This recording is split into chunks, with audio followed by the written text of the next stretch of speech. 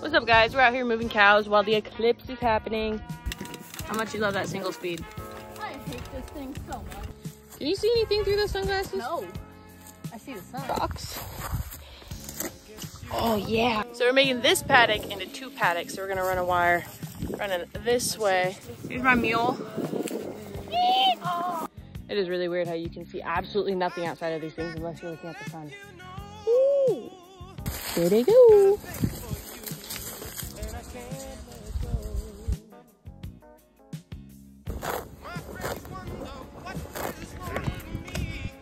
Happy cows.